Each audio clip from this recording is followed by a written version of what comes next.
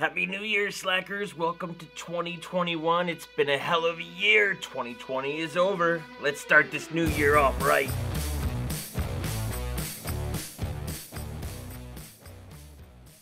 When a new generation of graphic cards come out, I crave for that ultimate power of bleeding technology to push it to the max. I just need that speed.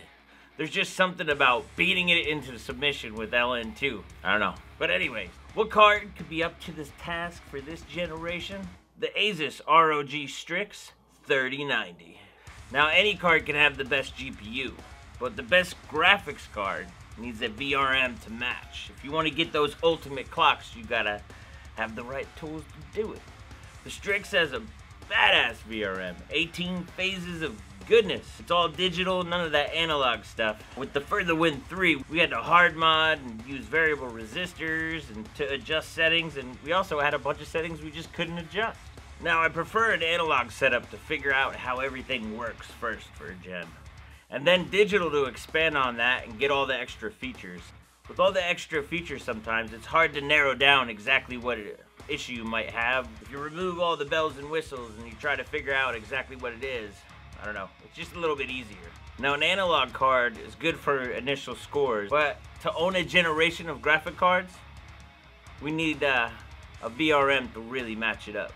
So what are the benefits of a more stellar VRM? We get access to load line. We can actually control the load line curve. So that means we can get more stable overclocks the more current we're pushing through. And the 3090, when you're really clocking at like 2600, man, you're pushing a lot of wattage. We always talk about how load line helps to drive consistent voltage. It's much needed here. The 3090 is a beast pushing thousand watts possible on extreme. I don't know, we're gonna have to figure out and I'm gonna let you know how far we can push it. Also, one of the cool features about this card is that we're able to actually overclock the VRM, so we can actually change the switching frequency. In the other analog VRM, we didn't really have much access to it, and it's really needed to push that current. So we're basically overclocking the VRM.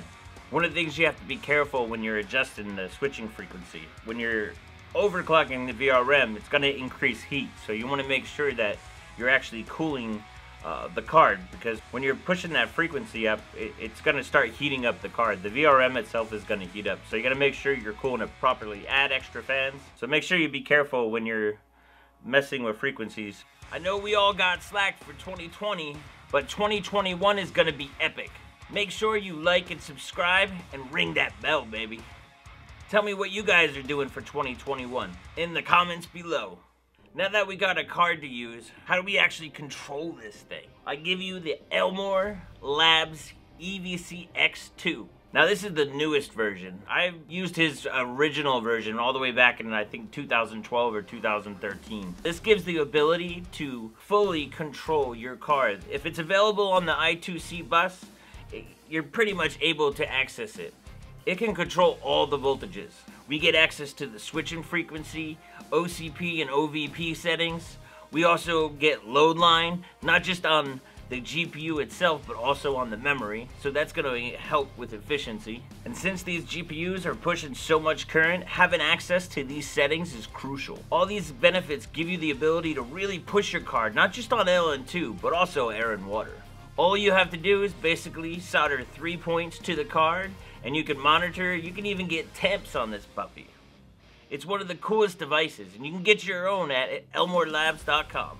I'll have a link in the description so you can get yours if you want it. Make sure you like and subscribe to watch future videos where I'm going to take this puppy on liquid nitrogen in my quest to find the fastest 3090 in the world. Slacker out.